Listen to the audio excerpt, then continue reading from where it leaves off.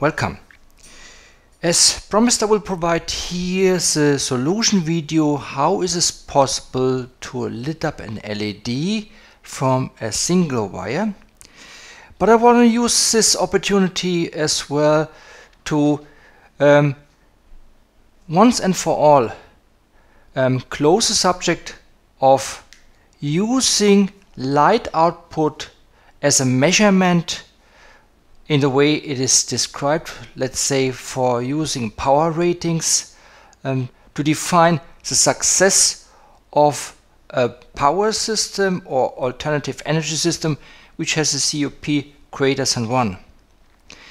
The power ratings for all the um, lamps, fluorescent bulbs, LED lights are all done our under ideal condition and they don't take into account this in other environments, especially in an environment for our so-called alternative energy systems, that the energy flow, like current and voltage, is not in the same way as a power rating has been provided for these um, lamps or LEDs.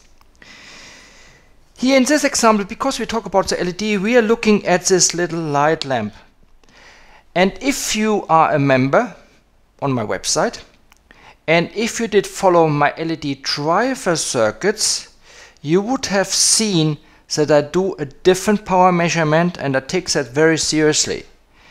In this different power measurement, I use the light output mm, mm, measuring in candela or in lux compared to the power input and compared it to different transistors.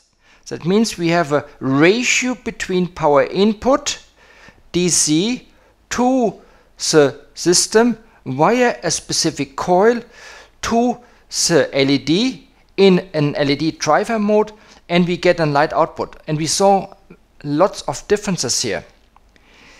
These differences are much more accurate because I'm taking the light output and this is measured in lux. We haven't done that here. It's also not that simple because you technically should isolate or literally you should take your video in a dark room, isolate the LED and have directly your lux meter on top of it. That's what you what you could do and then you would be able to compare that and you create a chart with a performance ratio between light output and so on. So we do, I don't do that here at the moment. So we go very, very simplistic. I have very precise measurement tools and you can see I'm currently not using Keysight. That has, has a reason because this instrumentation from TTI are very precise and much better to use to give me um, the information I'm looking for. For starters, this power supply measures 1 millivolt precise and measures precise down to 100 microampere. On this DMM, I can use its battery driven, that means I can charge battery and it gives me what's very important, if we measure power from a source, we need to measure for RMS always AC and DC, not just AC. We need to measure all the values, and I talked about that in the past. It's called an offset. The offset is always part of your wave. That means you have always a DC component in your, in your wave transmitted in a signal, and this need to be measured, and that what this DMM does, it gives me AC and DC measurement. The third part is the wave generator. Wave generator, as you can, as you saw, as you saw also the whole time I used the wave generator from my oscilloscope. This wave generator does give me floating power. Yes, I can change to high impedance. High impedance is here 5 volt point to point. However, if I change it to 50 ohm, I don't see any difference. The only difference is, yes, you, you double or you have the amount of voltage for example you have a 5 volt or let's say you have a 10 volt point to point or peak to peak that means your top value or your DC value from 0 to uh, 10 volt uh, would be 5 volt and that's what this oscilloscope does. It halves then the voltage or this, this wave generator and that's the way here as well. Only here I'm 100% sure because I have two different outputs. This is my 50 ohm output which gives me much more power which can drive a load and this is just a TTL output. I cannot make any manipulation here and I have only and I can use all the different kind of uh, functions available in this um, DMM in TTL and here I have really one megahertz output but what we're gonna do we're gonna measure and nobody has ever done that. We're gonna measure the real output. This TTL and this 50 ohm um, is delivering. So I have now uh, connected uh, the LED and I use 5 volt. So 5 volt is technically our top in a square wave or in a sine wave. That means the LED is unidirectional as said. It can use only the positive half cycle of a wave. So if we energize uh, it via an AC signal, we have to, to double up the values in order for this load to illuminate. That requires minimum 5 volt. Technically, a 5 volt uh, voltage top to uh, um, peak to peak is not enough to eliminate it, we need a transformer um, to step up the voltage in order to do that. I will provide a, a, detail for the LED, why it lights up, then later on with the exact explanation what's going to happen. Here we go now for the, for the, for the power measurement, that we know exactly how much power are we actually putting in. So we have here at the moment 5 volt as you can see and I require 100 microampere for this light output.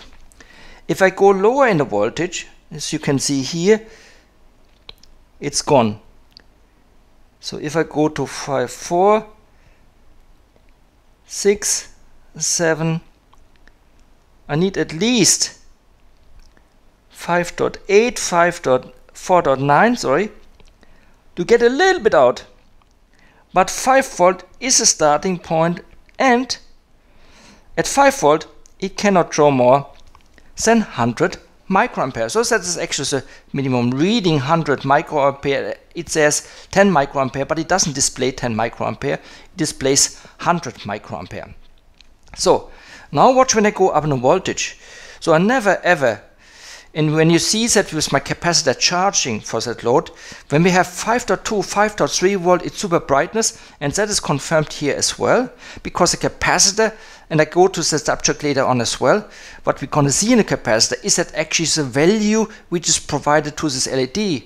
And that might be a tricky one and it might not be true either. And I will explain why. So we have here 5 volt. Let me go up in the voltage. 1, 5.1, 400 microampere. 5.2, we have 600 microampere and it's fairly bright already, right? 5.3 and this is the values I normally have and I say it's a very good system working with wireless energy transfer and so on or when I touch the screen I think you show this kind of brightness. It uses 1.3 milliampere. And I have here also see you can see the watt um, definition here, it's 7 milliwatt. 7 milliwatt is currently consumed by this load. And I will go a little bit further up. Let's say 5.4, 2.5, 5.5, but I will not go higher. It's, it's extremely much for my liking. At 5.5, 5.5 volt, 3.6 milliampere. So I will put that on the board as well. So the next step will then be we are measuring the output of my um, signal generator. But first I want to measure the wave generator from the oscilloscope and as you can see here at 10 kilohertz a square wave for an amplitude of 5 volts, that means 2.5 volt on top, I get 5.4 volt top and 2.42 uh, uh, on top instead of 2.5. um, that is a so-called high impedance. If I would change the low impedance, it would change to 2.5 volt. Um, we're gonna go, I'm gonna take the same signal and connect it now on um, the CMOS signal here on this one. And as you can see here, I get only 4.3 volt out, but the top side is heavier. I should be then only based on that, I should have only 2.1 volt, but I have 3.23 volt. It's a little bit heavier on the top side that is compared to the low side. I move on now to the 50 ohm uh, signal. What you realize now is, no, I haven't connected it to the wave generator. I have connected it here to the signal. That is a 50 ohm output. And guess what? We see the same values, 5.3 volt and 2.42 volt on the, the top side. But I have changed it here on oscilloscope to high impedance. Now, if I change that now to 50 ohm, see how that looks like. On uh, um, uh, oscilloscope, I have adjusted it now to 50 ohm. And as you can see, I can change it only to 2.5 volt uh, um, peak to peak and I have to do the same setting over here. This gives me my 5 volt and I see exactly the same value 5.4 volt, 2.42 volt on the voltage side and I do now the same connection on my uh, uh, separate signal generator. The signal generator on 50 ohm does show me exactly the same values, identical values. So it's good that I haven't uh, received any mismatch of information. Now we're going to go over and measure here on the DMM and see how that looks like. Now start now with a with really um, DMM with a with a measurement of the voltage, not with an oscilloscope. We know we had here 4.3 volt, and we came about 4.5 volt or something like that. We had it on a on a baseline we have here on the DC value, that means uh, this um, the TTL CMOS is always a square wave. You cannot change it to sine wave, it's always square wave. If you want to have a sine wave, you have to go to 50 ohm. So this one is a, squ a square wave and you cannot change amplitude either. It stays as it is. So we have here on DC 1.6395 volt. If I change that to AC, 1.64 volt. But because we have to measure AC and DC to get a correct value, that is something the oscilloscope does not do. I have to add both values.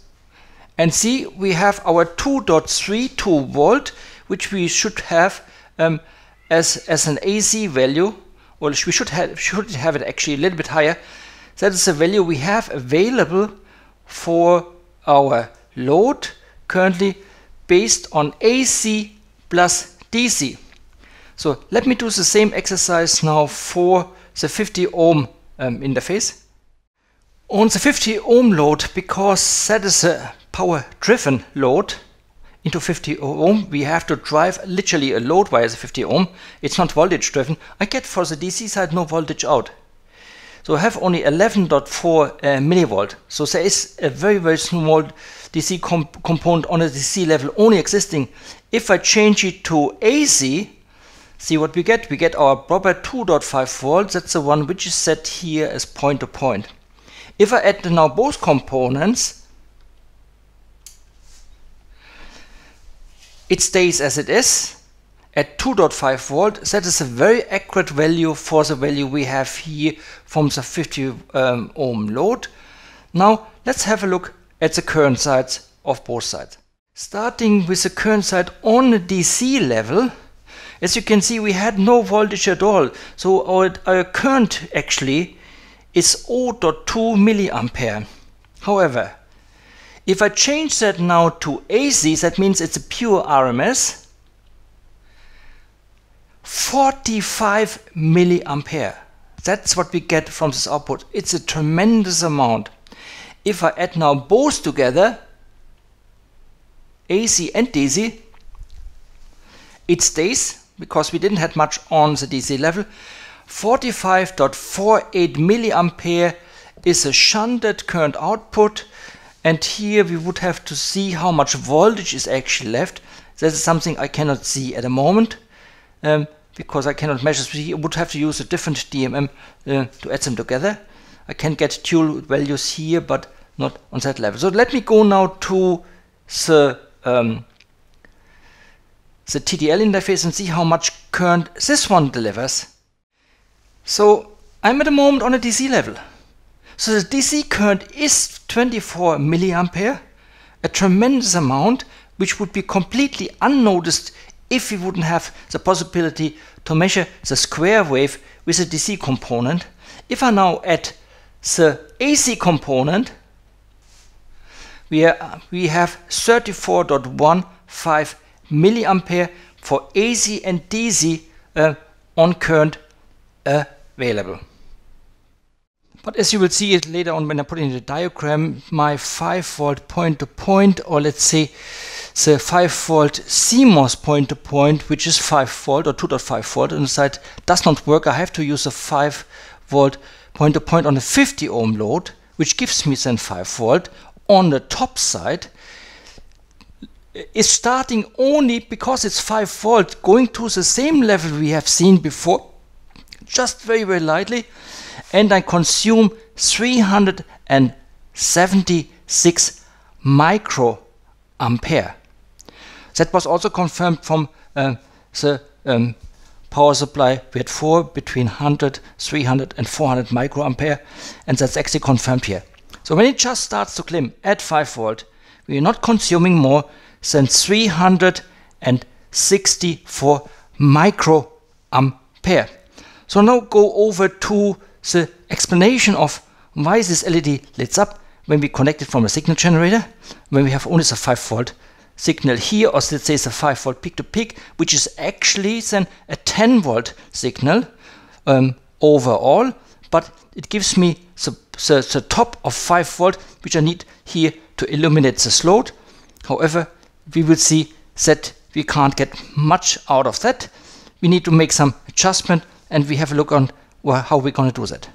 So if I now change the settings on my uh, signal generator to 10 volts, that means it gives me 5 volt plus, uh, plus plus. That means I have the positive side 5 volt and negative side 5 volt. It works, right? Right. So I need don't need any power supply. But the question was, what does this circuit do? Technically, it does not. The circuit itself or the transistor or the Darlington here does nothing. What happens is that the, that the capacitor is doing something, as you can see. Because you should have noticed when I touch the uh, capacitor, it uh, increases the illumination. And if I disconnect here, then it's out. If I touch with my hand, it's on. So some of you came to the right result the result is very simple. It works only because of the capacitor. And one gave me the 100% correct answer. We have an alternating signal which has a positive and a negative cycle. The di diode only works with a positive cycle. The capacitor can only charge with both cycles, positive and negative. However, I need to rectify that. I do that. I have a diode in here and the uh, LED is a diode as well. That means the diode is actually, the LED is getting charged up. That means the power goes through the LED. On the back side is connected to the minus of the capacitor and here to the ground. However, it's no, there is no ground. But the negative cycle is consumed from the negative port of the capacitor from the cycle which does not go through uh, this LED. This negative cycle comes from the virtual ground and comes partially from the LED. The LED is performing a so-called voltage drop. Bear in mind that on the back side is negative, right? I need to connect a ground here, common ground, to connect the LED. This negative side is connected to the capacitor. That means 5 volt goes in, but because of the voltage drop, bear in mind it consumes about 300 microampere, 5 volt is not completely received anymore on the capacitor, so it will be slightly lower. And that's what you have seen. When I say it's my 5 volt load, but the capacitor has charged up to 5.2, 5.3 volt, That means it received more than actually the LED is uh, consuming. That means we had more power available. So we have always that is always an indicator uh, was always an indicator that we have more power in the system available if this capacitor is charging to a higher voltage than what the LED is actually uh, using for or is actually il illuminating by. And it also means that we have a slightly lower uh, potential on the common ground or on the negative flag to charge the capacitor but we have also a much higher value. If you would disconnect the LED and we would have two diodes and rectify the signal here, this um, would charge up to a much higher value. However, we have no, currently we have no um, coil um, connected. That means we are not amplifying, we are not increasing and stepping up the voltage, which requires at least 5 volt here from, let's say, 2.5 volt signal from the signal generator. We have to increase it to 10 volt in order to get the 5 volts through, and then we can do the part. However, we need to have at least a boundary to push back the output which comes through this LED to the capacitor and the capacitor then provides at that very moment the full potential required for the LED as a DC component to lit up. So when I, when I touch with my hand, I literally providing this boundary back to the capacitor and the LED has the potential now to light up. Without it, it does not. That is the solution and I will put it in, the, in a couple of little graphics on the board for you to understand. And this is something when you when you build circuitries to consider to do, especially when you use LEDs, that you have capacitors in place, and you will see that with all kind of designs um, from various inventors that they all in a similar fashion do such things or connecting a coil in the back, but the coil will receive only a fraction of the potential which was available there. All these kind of things are done, but that is a solution to the system. And of course, uh, this one is working as well because it provides a boundary as well as my soft um, space uh, concentrator. It's bouncing back to the capacitor, giving the capacitor the potential in order to illuminate the light and the better the bounce back is from this resistance on the side, the more potential is on the capacitor, the brighter is the LED lamp. That is a um, summary of this a little exercise for you to understand how it's working and I hope you enjoyed it and watch out for more videos to come. Thank you.